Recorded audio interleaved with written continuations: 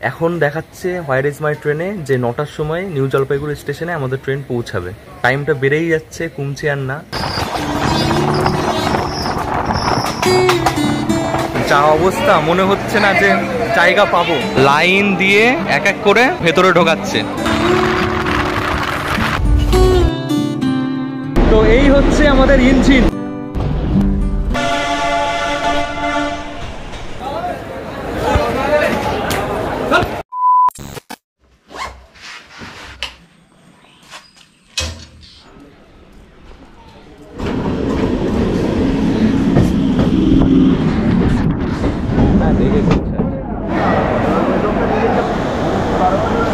Hey hello বন্ধুরা, কেমন আছো সবাই? আশা করি সবাই ভালো আছো, সুস্থ আছো। আরও একটা নতুন ভিডিওতে সবাইকে স্বাগত জানাই।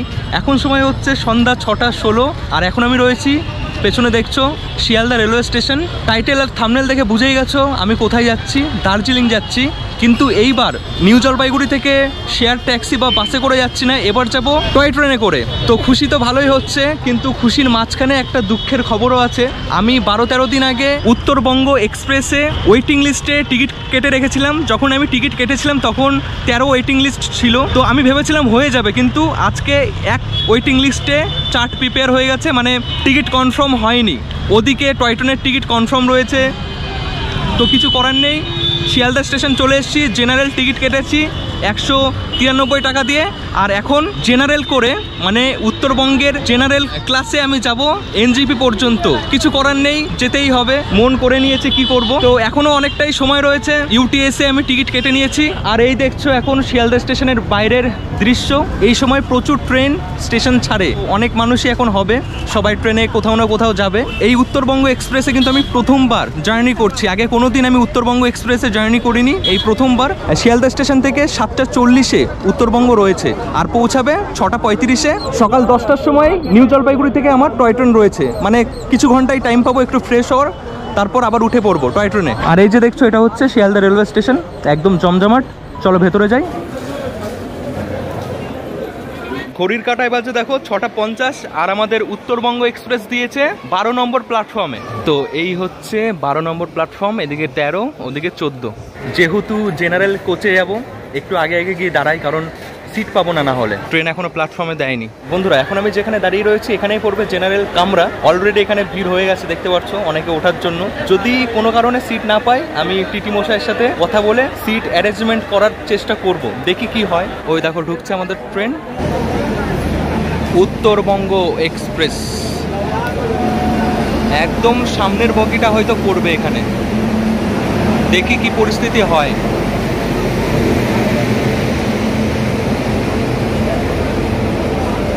আরপিএফও এখানে রয়েছে, যেন কেউ ঘুরো ফারাক না করে ওই কারণে। দেখো, এটা হচ্ছে লেডিস এটা হচ্ছে লেডিস আর এটা হচ্ছে জেনারেল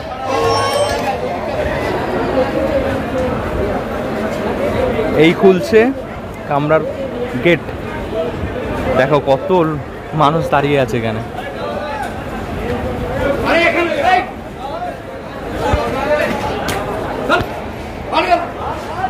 ক্যাচাল একজন উঠে গেছিল, একটা ছেলে লাইন দিয়ে এক এক করে ভেতরে ঢোকাচ্ছে। আর সব গেট বন্ধ, একটা গেটই খোলা রয়েছে। যা অবস্থা, মনে হচ্ছে না যে জায়গা পাবো। ওই হচ্ছে গেট, আর ওই পর্যন্ত লাইন। আমি তো বুঝতেই পারিনি কখন এদিকে লাইন হয়ে গেছে। টিকিট কনফার্ম না হলে এগুলোই ফেস করতে হয়। দেখি কি হয়, আমি টিটি মশাইয়ের সাথে কথা বলে কিছু অ্যারেঞ্জ করতে পারি কি না এখানে বসার সিট পাবো না কনফার্ম বন্ধুরা ফাইনালি সবাই উঠে যাওয়ার পর আমি তোমাদের দেখাচ্ছি কোচের ভেতরে। দেখো। প্রত্যেকটা সিট একদম বুক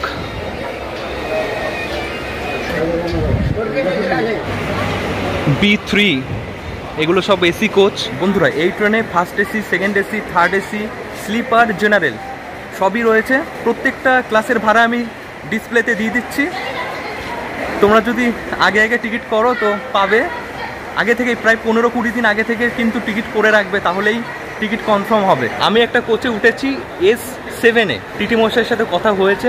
এতক্ষণ ভয় ভয় লাগছিল, এখন একটু মানে কনফিডেন্স বাড়লো। কথা বললাম টিটি মশাইয়ের সাথে, তো টিটি মশাই বলল ট্রেন ছাড়া না অবধি কিছু বলতে পারছি না।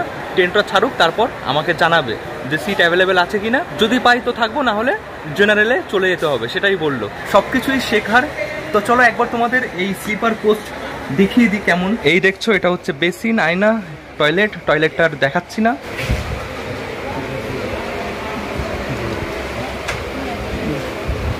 এই দেখছ, এটাই হচ্ছে সিট অ্যারেঞ্জমেন্ট এদিকে দুই, এদিকে ছয়। যেমন হয় আর কি। বেশ পরিষ্কার পরিচ্ছন্ন ঠিকই আছে। ঘড়ির কাটায় বাজে সাতটা বিয়াল্লিশ আর আমাদের ট্রেন ছেড়ে দিল শিয়ালদা স্টেশন থেকে। শিয়ালদা থেকে নিউ জলপাইগুড়ি যেতে মাঝখানে এই ট্রেনটা ষোলোটা স্টেশনে দাঁড়ায়। কিন্তু আজকে কিন্তু ট্রেনটা সঠিক রুটে যাবে না ট্রেনটা ডাইভার্ট হয়েছে। বন্ধুরা আজকে আমার একটা অদ্ভুত অভিজ্ঞতা হচ্ছে। হাতে কনফার্ম টিকিট নেই চেপে বসেছি ট্রেনে। কপাল ভালো বলে একটা ফাঁকা সিট পেয়েছি যেখানে এখনও সিটের মালিক আসেনি। আজকে সমস্যার উপরে আরও একটা সমস্যা রয়েছে।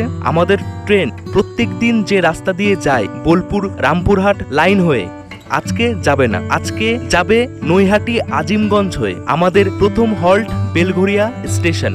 প্রথমে ভাবছিলাম ভিডিও করব না, কিন্তু মন বলল এই অভিজ্ঞতাটাও তোমাদের সাথে শেয়ার করা উচিত। Belgharia.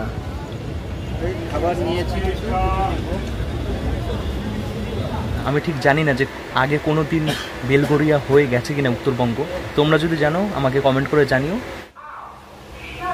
Shantipur local is arriving on platform number 5.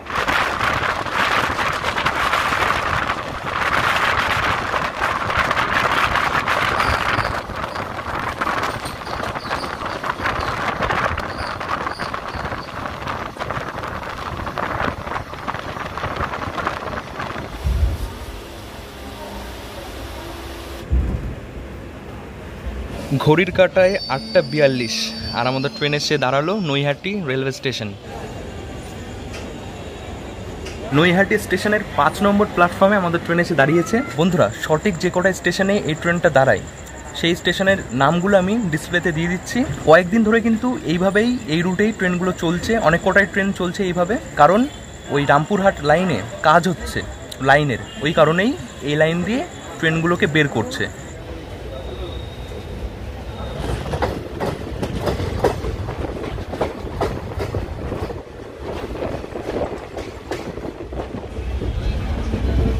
ঘড়ির কাটায় বাজে দেখো নটা একুশ, আর আমরা পৌঁছে গেছি ব্যান্ডেল জংশন রেলওয়ে স্টেশন। সাত নম্বর প্ল্যাটফর্মে আমাদের ট্রেন এসে দাঁড়িয়েছে। তো এরপরে সোজা কাটুয়া, তারপর আজিমগঞ্জ, তারপর জঙ্গিপুর।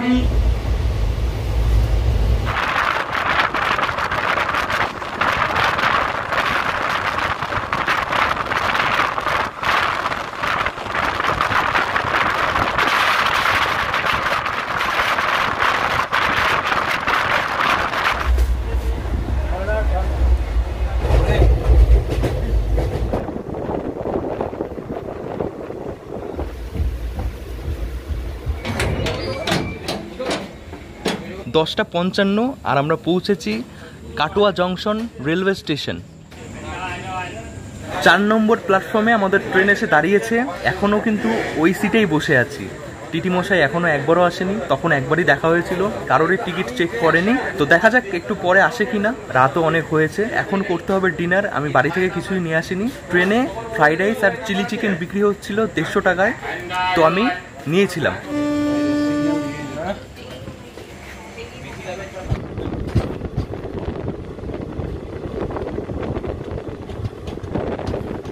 এবার আজিমগঞ্জ। আজিমগঞ্জে আমাদের ট্রেন গিয়ে দাঁড়াবে। বন্ধুরা, দেখছ, এই হচ্ছে আমার রাতের ডিনার এর মধ্যে রয়েছে ফ্রাইড রাইস এটার মধ্যে চিলি চিকেন এই প্লেট দিয়েছে, চামচ দিয়েছে আর টিস্যু চিলি চিকেন চালগুলো বেশ ভালোই লাগছে। এবার খেয়ে দেখি কেমন খেতে। দেখতেই ভালো লাগে বাইরের খাবার। খেতে কিন্তু ভালো হয় না।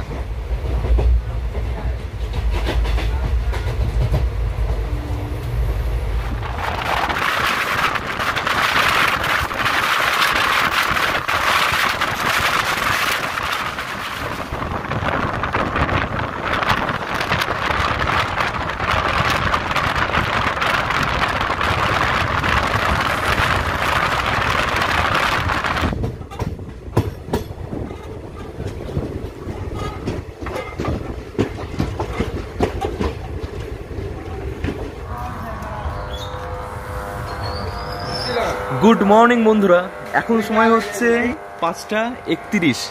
আর আমরা পৌঁছেছি শামসি বলে একটা রেলওয়ে স্টেশন।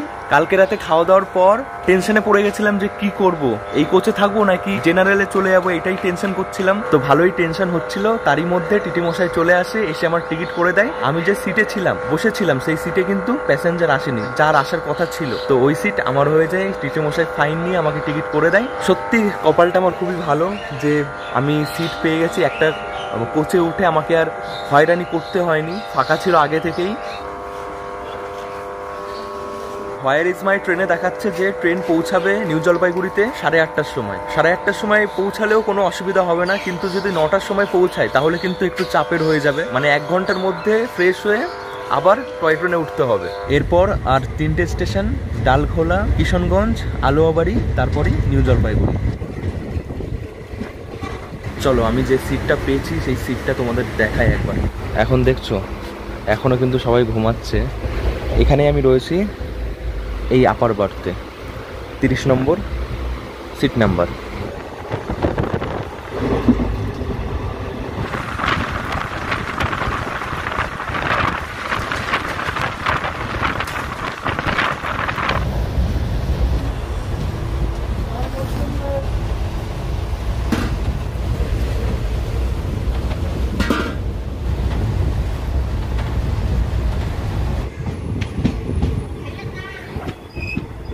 এখন দেখাচ্ছে হোয়ার ইজ মাই ট্রেনে যে নটার সময় নিউ জলপাইগুড়ি স্টেশনে আমাদের ট্রেন পৌঁছাবে।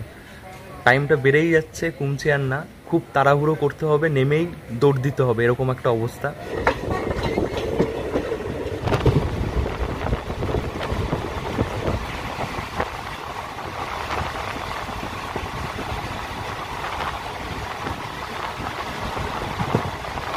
বন্ধুরা, ঘড়ির কাটায় বাজে রাইট নটা আর আমাদের ট্রেন ঢুকছে নিউ জলপাইগুড়ি রেলওয়ে স্টেশন।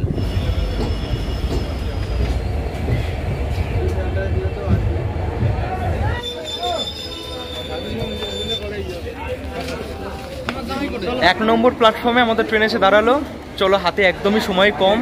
ভিডিওটা আমি এখানে শেষ করছি। দেখা হচ্ছে আবার পরের ভিডিওতে টয় ট্রেনে। টয় ট্রেন করে এনজিপি থেকে দার্জিলিং পর্যন্ত জার্নি করব।